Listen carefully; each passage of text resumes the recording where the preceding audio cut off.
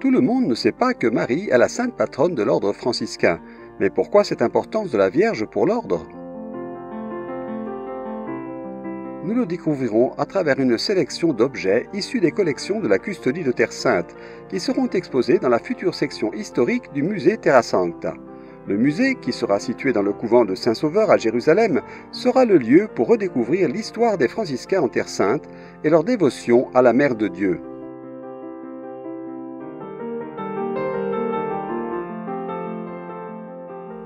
Le père Stéphane Milovic, directeur du bureau du patrimoine culturel de la custodie, et le père Alessandro Coniglio, professeur au Studium Biblicum Franciscanum de Jérusalem, nous accompagneront dans cette étude approfondie.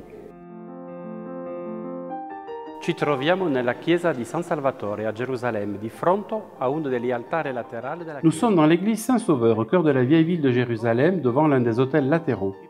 Nous débutons notre parcours de découverte de la dévotion mariale franciscaine avec ce tableau. Il s'agit d'une huile sur toile représentant François d'Assise agenouillé devant l'apparition de Jésus et de Marie en majesté.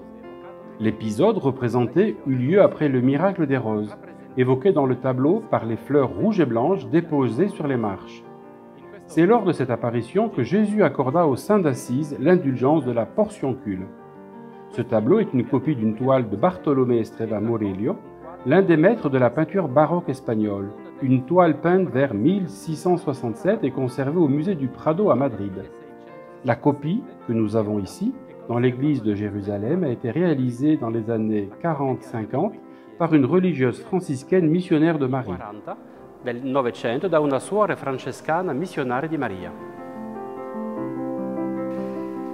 Il quadro ci mostra una classica La peinture nous montre une description classique de la manière dont Saint François aurait obtenu l'indulgence de la portioncule. François est agenouillé devant l'autel de l'église de Sainte-Marie des Anges, dans la plaine d'Assise.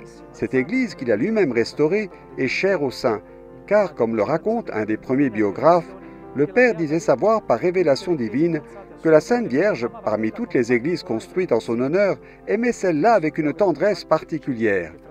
Le même biographe nous dit en effet que François entourait la mère de Jésus d'un amour indicible, parce qu'elle avait fait notre frère le Seigneur de la Majesté. Mais ce qui nous remplit le plus de joie, c'est qu'il a fait d'elle l'avocate de l'ordre et a placé sous ses ailes les enfants qu'il allait quitter, afin qu'ils trouvent chaleur et protection jusqu'à la fin.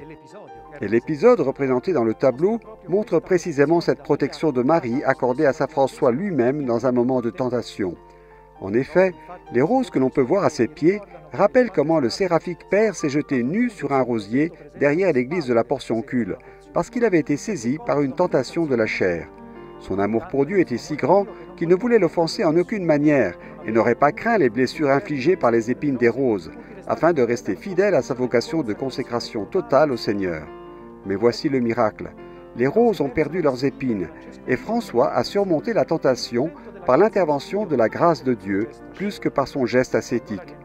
Puis, de retour à la portioncule devant l'autel, il eut la vision de Jésus qui, par l'intercession de la Sainte Vierge, sa mère, accorda à François l'indulgence plénière pour les pèlerins venus visiter cette petite église en l'honneur de Marie. Comme François, nous aussi, nous pouvons surmonter toute tentation en regardant Marie, et en nous confiant à elle, nous pouvons obtenir de son Fils Jésus la grâce qui nous sauve dans le pardon de nos péchés. En effet, Marie n'est pas seulement l'avocate de l'ordre des frères mineurs, mais de tous ceux qui l'invoquent avec foi et dévotion sincère.